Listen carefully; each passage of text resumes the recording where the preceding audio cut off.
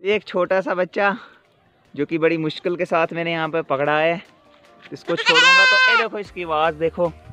बड़े तरलों के साथ इसको मैंने पकड़ा है। जो तो हेलो गाइस, स्वागत आप सभी का हमारे इस न्यू ब्लॉग में। तो आज की वीडियो की शुरुआत हो रही है फिर से मेरे घर से।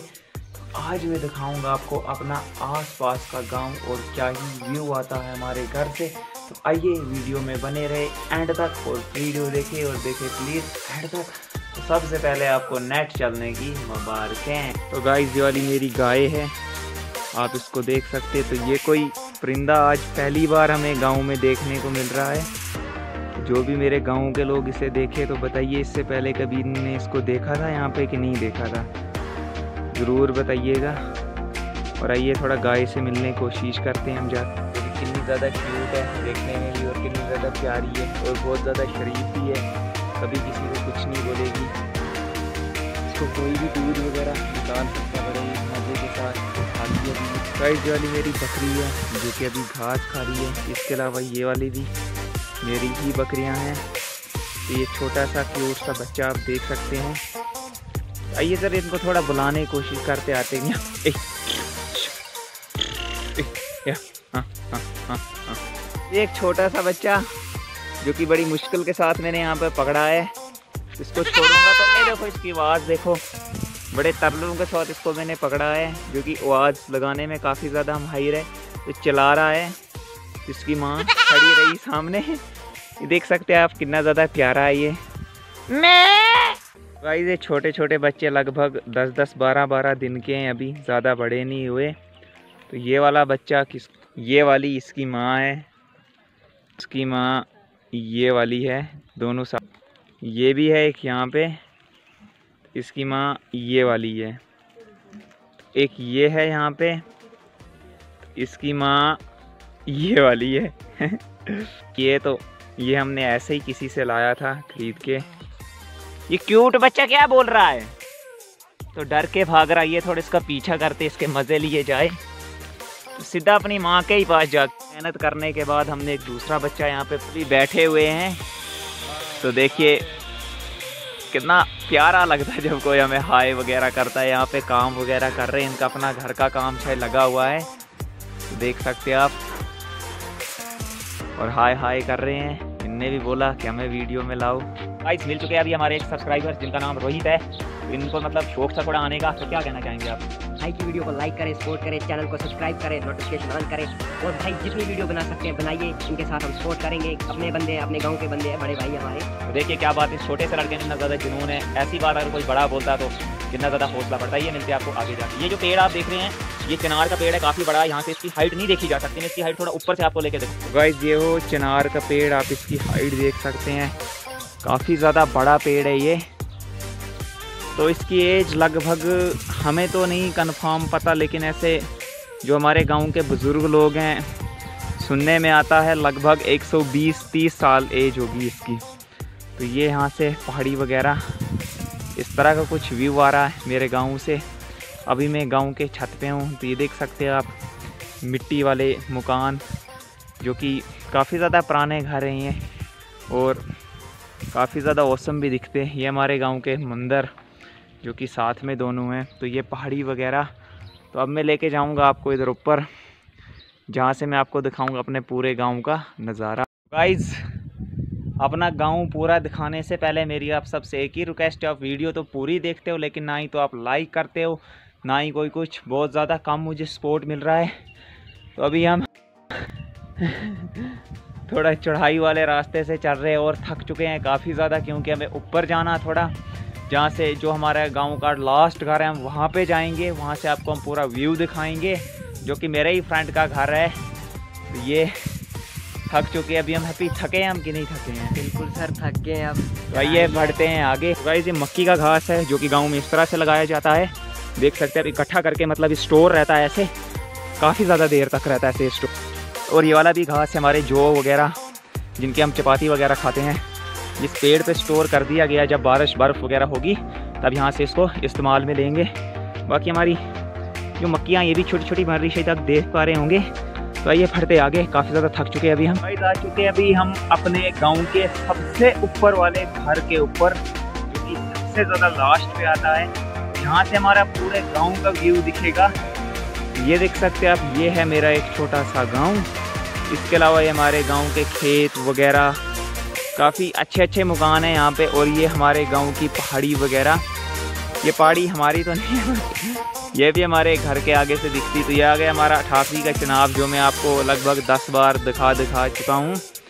ये इस तरह का कुछ यहाँ से व्यू आता है। काफ़ी ज़्यादा औसम दिखता है यहाँ से व्यू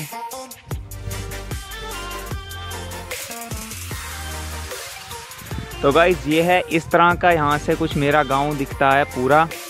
तो ये इतना ही सही मेरा गाँव है। तो पेड़, पौधे वगैरह, अखरोट वगैरह के पेड़ यहाँ से, ये यहाँ की आसपास की पहाड़ियाँ, ये वो कि जम्मू साइड है, ये जम्मू साइड की लोकेशन है ये। तो ये हमारी पहाड़ियाँ वगैरह। तो ये हमारा चनाव वगैरह, ये गाँव हमारा, यहाँ पे बीच में कहीं मकान मेरा। तो इसी का ही एरिया मेरा घर है, बताऊँगा नहीं कहाँ पे है।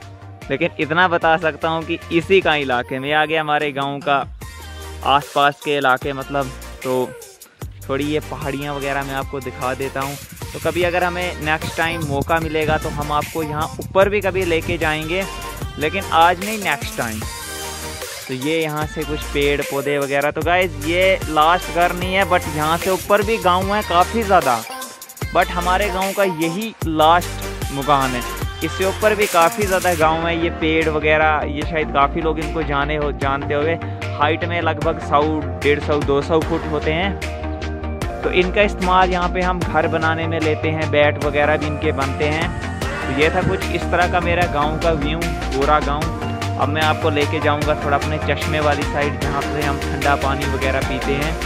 तो ये कुछ हमारे गाँव के लोगों के घर थे कुछ ऐसे। तो मैंने आपको ये दिखा दी। काफ़ी ज़्यादा धूप है यहाँ पे और अभी हम जा रहे हैं नहाने। तो हमारे साथ हमारे सचिन भाई जो कि इनके हाथ में आप टावल वगैरह देख सकते हैं। सचिन भाई क्या कहना आपका? कहना क्या गर्मी है बहुत ज़्यादा।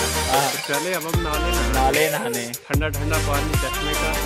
कपड़े शपड़े धोएँगे नहाएँगे फिर वापस आएँगे। और गाइस नहाते और चल के अब हम उसको सीधा अपना नाले का व्यू दिखाते और चलिए इंजॉय करते हैं साथ साथ तो नाला देखने से पहले मेरा सबसे एक ही रिक्वेस्ट आप वीडियो तो देखते हो लेकिन आप लाइक नहीं करते हो।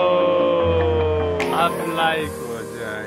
अब लाइक भी करना इसी बात। ये हमारे गाँव की नहर है जो कि ये ऐसे ही मतलब पीछे से लेकर एंड तक है। तो ये हमारा पानी का हाउस है जहाँ पे पानी पीछे से आके जमा होता है और यहाँ से हमारे घरों के लिए सप्लाई होता है। तो गाइज़ यहाँ पे कुछ टाइम पहले मैंने अपना नाम लिखा था। मतलब जब ये शुरुआती में ही बना था। ये देख सकते हैं मैं आपको जूम करके दिखाता हूँ। पता नहीं क्यों लिखा था मैंने, किस लिए लिखा था, लेकिन लिखा ज़रूर था। तो ये हमारा नाला है। तो काफ़ी ज़्यादा यहाँ पे आके लोग इन्जॉय वगैरह करते हैं। तो ये भरते इसी के साथ आगे आगे मैं आपको एक चश्मा दिखाऊँगा, जो कि नेचुरली पानी आता है काफ़ी ज़्यादा ठंडा पानी होता। है काफ़ी टाइम के बाद आज मैं इधर जा रहा हूँ। तो यहाँ पे दूसरी यहाँ पे एक टंकी वगैरह है, जो कि दो गाँव है नीचे वाला, ऊपर वाला, जो कि यहाँ से वहाँ से सप्लाई होता है। तो आइए भरते आगे। गाइस पहुँच चुके हैं अभी हम अपने नाले में। तो ये नाला ऐसा नहीं था गाइस ये काफ़ी ज़्यादा हरा भरा था।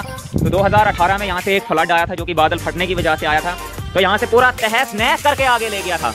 2018 का फ्लड, यहाँ में काफ़ी ज़्यादा तबाही मचा चुका था। यहाँ ऊपर ऊपर तक पानी रह गया था। ये जो साड़ी का पेड़ है, इस तक भी यहाँ पे, और ये घाट वगैरह फ्लड की वजह से आगे रह गया था। कुछ ही नहीं यहाँ पे बचा था। चारों साइड से पानी पानी था और तबाही तबाही थी। यहाँ पे टंकियाँ वगैरह होया करती थी, वो भी सारी आगे तहस नहस हो गया। तो कुछ दिन पहले यहाँ से एक पत्थर गिरा था नीचे। तो ये वो पत्थर है जो कि अब लोगों ने इसका चूल्हा बना दिया है। अब इसको घर के इस्तेमाल में लेंगे, दीवार वगैरह के इस्तेमाल में लेंगे। देख सकते हैं आप यहाँ से क्या तबाही मचाई थी उस फ्लड ने। काफ़ी ज़्यादा लोगों को पता होगा, लेकिन काफ़ी ज़्यादा लोगों को नहीं है पता। गाइस ये वो पानी है जो कि नेचुरली यहाँ से आता है, काफ़ी ज़्यादा ठंडा है। तो ये इधर ही से कहीं ऊपर से इस पहाड़ी में से निकल के आता है हमारे लिए पीने के लिए। इस पानी के मुकाबले फ्रिज का पानी क्या ही है, कुछ भी नहीं है हमारे सामने। तो ये है हमारे साथ, हमारे दो मेहमान जो कि हमारे साथ साथ चल रहे हैं। तो गाइस नहा के फ्रेश होने के बाद अब हम जा रहे हैं घर की ओर। देख सकते हैं हमारे बाल पूरे भीगे हुए। सचिन भैया चले घर की ओर। हाँ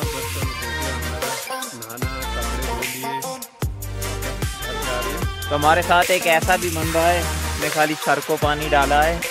इस नहा धो के फ्रेश होने के बाद अभी हम जा रहे हैं खेलने। ये देख सकते हैं आप मेरे हाथ में बैट है। तो ये देखते काफ़ी ज़्यादा लोग अभी हमारा इंतज़ार कर रहे हैं तो चलते हैं खेलने। गाइस ये है यहाँ पे हमारी टीम जो कि अभी आधे लोग आए हुए हैं। तो मैं आपको बता दूँ जैसे मैंने आपको बताया था हम गाँव के लोग हैं।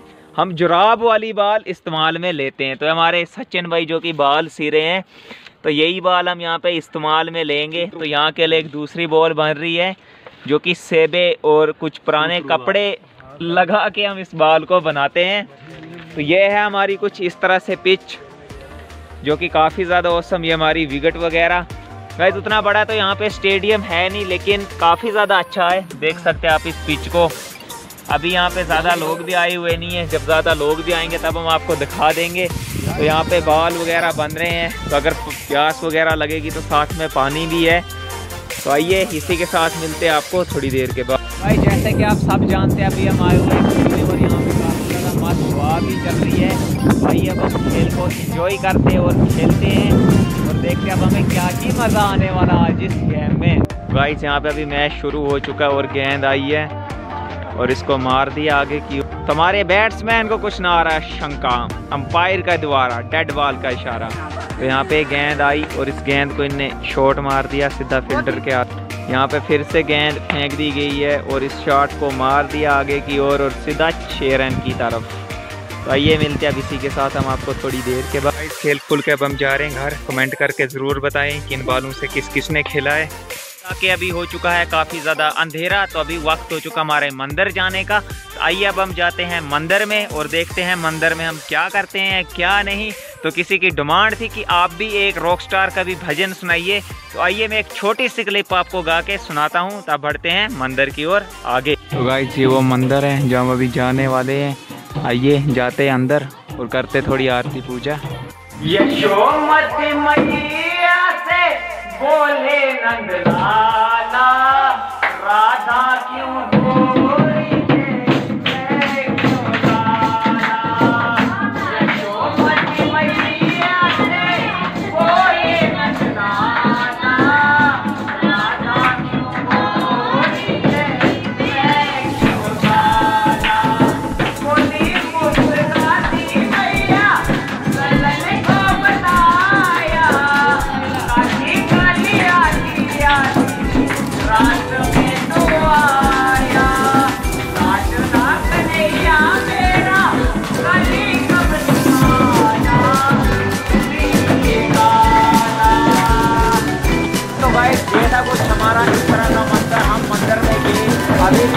भजन कीर्तन वगैरह जारी है। काफ़ी ज़्यादा हमें मज़ा आया और अब हो चुका है यहाँ से काफ़ी ज़्यादा अंधेरा। तो आप अंधेरा साइड देख के पा रहे होंगे। अब हम बढ़ते हैं घर की ओर, क्योंकि अभी अंधेरा हो चुका है। काफ़ी ज़्यादा। गाइस यहाँ पे हमें दिख चुका है सांप। तो देखिए ये अभी बच्चा ये किस तरह से चल रहा है। रात के अभी लगभग टाइम है नाउ तो हम रास्ते से जा रहे थे तो हमें सांप दिखा है। तो मेरी आपसे मतलब एक ही रिक्वेस्ट रहेगी कि अगर आपको इस तरह से सांप दिखते हैं, ये जानवर है, इनको रास्ते से हटा के साइड करें।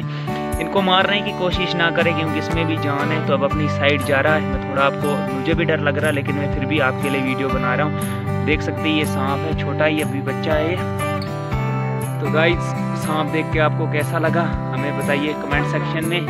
कौन कौन डरा, कौन नहीं डरा?